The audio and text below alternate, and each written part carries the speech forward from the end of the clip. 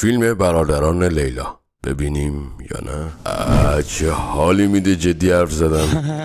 سلام علیکم چطوری؟ قربونتون برم. حالتون چطوره؟ از اونجایی که چنل ما در جهت معرفی فیلم و سریال قرار گرفته و تا اطلاع ثانوی هم از فکت و دانستانی خبری نیست تصمیم بر این شد که در این پست به نقل و بررسی و سوتی های فیلم برادران لیلا بپردازم. فیلمی که به دلیل یک سری هنجار شکنی ها و نیمچه سیاسی بودن توقیف شد اکرانش. در ایران. نسخه قاچاق این فیلم برای تماشا به صورت کاملا رایگان موجود شد تا همگی نسخه اصلی و بدون سانسور بر و بچه وزارت خونه رو ببینیم و لذت ببریم. قربون شکلتون برم. برای حمایت لطفا ویدیو رو لایک کنید دکمه subscribe channel م بزنید. راستی کامنتاتونم واقعا انرژی میده دمتون گرم. دوستتون دارم. خب دیگه بسه بریم برای ادامه.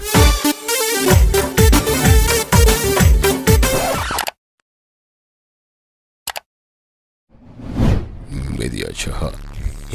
فیلم برادران لیلا جدیدترین ساخته سعید روستایی هستش. کارگردانی جوان و موفق با کارنامه کاری مثل ابد یک روز و متری 6500 هزار تا هزار بله متری شیش و نیم داستان فیلم همونجور که از اسمش مشخصه. یک لیلایی هست و چهار تا برادر.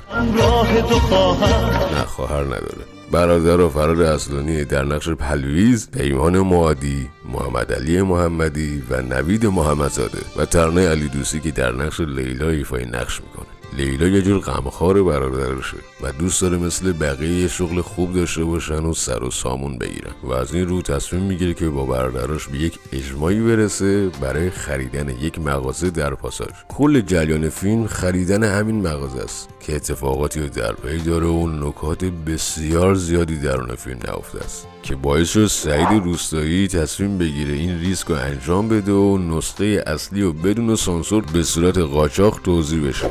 حالا نه بیایم به اینکه دروغ فلان مردم مگه دیوانه از خودش پخش کنه نه عزیز من. مسئله اینه که در زمان پخش این فیلم سعید روستایی هیچ واکنشی نشون نداد و این خودش بله. ای کاش می‌تونستم این فیلم رو به صورت کامل بذارم و دوره هم ببینیم و عشق کنیم. ولی حیف که کپی رایت یوتیوب دهن مهن آدم آسفالت می‌کنه. فیلم از چند بخش شروع شده. یه بخشی از فیلم سیاسی. البته شما در مورد املت هم حرف بزنید توی فیلم به خاطر وضعیت ممکن سیاسی میشه. بله بله. یه بخش دیگه از فیلم انتقاد از اقتصاد مملکت داره که سر گرونی دلار و برجام و این داستانا چه بلایی سر مردم اومد.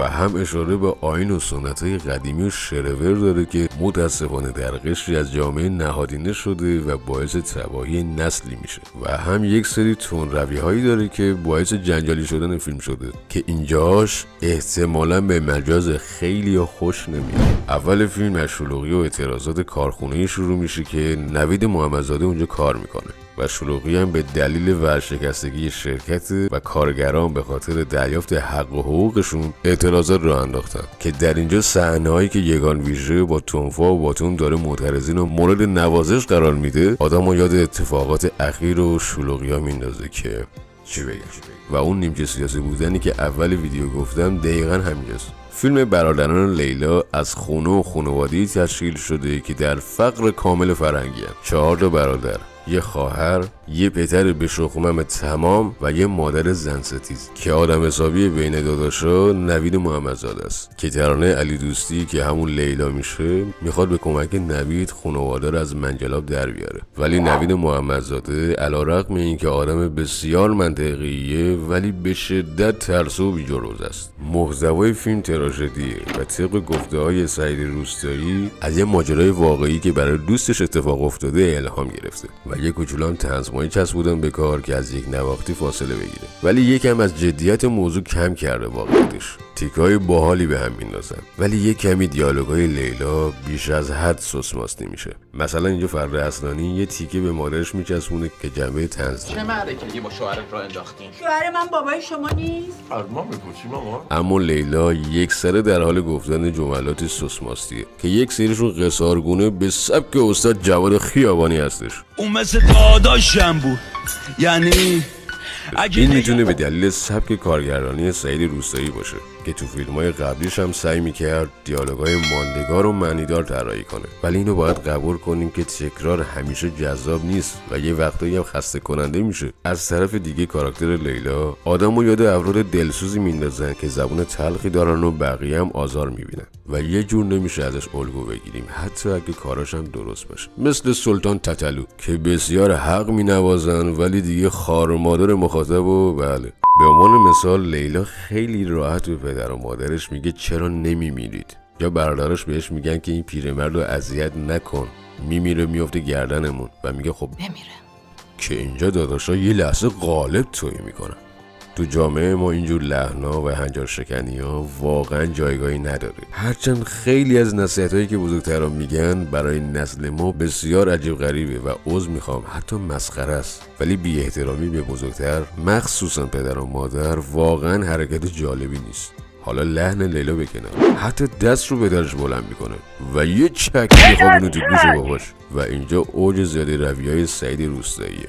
و به نظرم به عنوان یک مخاطب اصلا نیاز نیست این همه بخواد زیادی روی کنه. و خیلی هم بعد تماشای این فیلم هم نظر من هستم درست پدر خانواده که سعید پورسعیمی درنش ایفای نقش می‌کنه یه آدم عجیب غریبه. به فکر آینده بچه هاش نیست و تو یک سری آین و سنت قوم و طایفه‌ای گیر کرده و حتی عامل تباهی بچه هاش هم هست. ولی اینکه بخوای نشون بدی فرزن حق دست بلند کردن رو بزرگترش رو داره به هر دلیلی قابل قبول نیست. از طرف دیگه بابا اینجا ایرانه. هرچی بزرگتر میشه گنده‌تر میشه اینجا فقط دنبال نکات منفی‌ان که همون فرداش برن اجرا کنن. مثلا تو سریال عاشقانه هومن سیدی یک مدل خاصی سیگار می‌کشید که همگی سولاخ کرده بودن. هر ننه قمری تو کوچه خیابون می‌دیدی یه سیگار به سبک هومن سیدی داشت می‌کشید که جوری شد هومن سیدی به غلط کردن افتاد. و این استوریو پست کرد.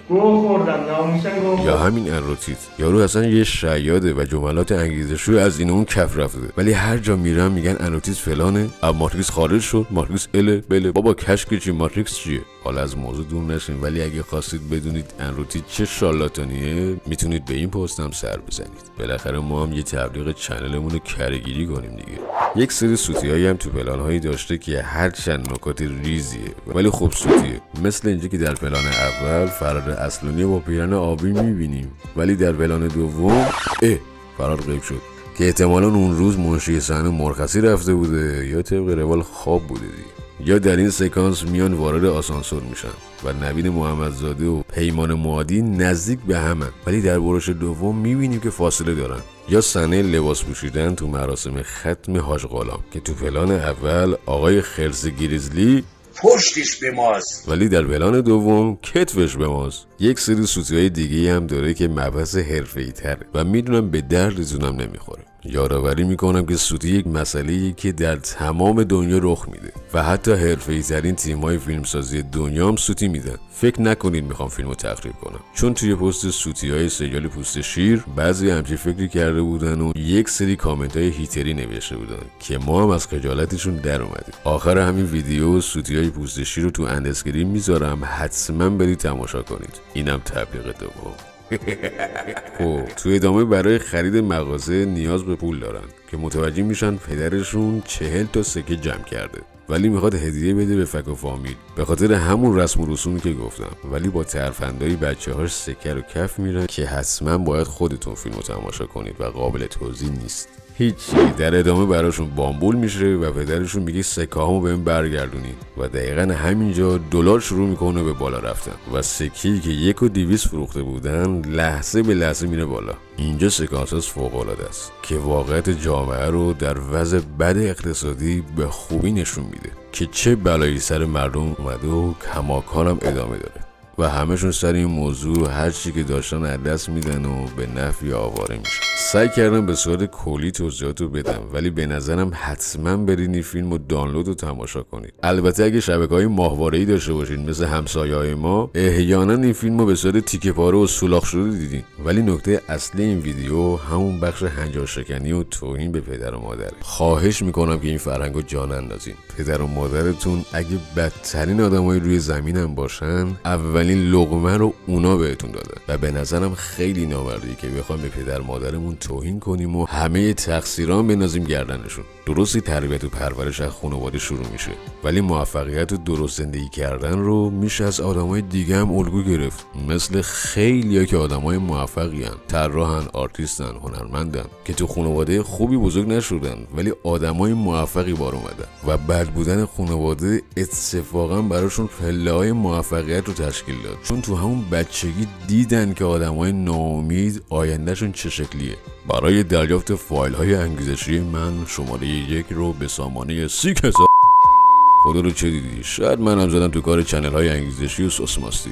دم همگیتون گرم که تا آخر ویدیو بودین و تماشا کردین. اگه خوشتون اومد حتما به اشتراک بذارید و لایک و subscribe channel م فراموشتون نشه. کلی پستای باحال توی channel ه. برید نگاه کنید و حالش رو ببرید. تا درودی دیگر بدرود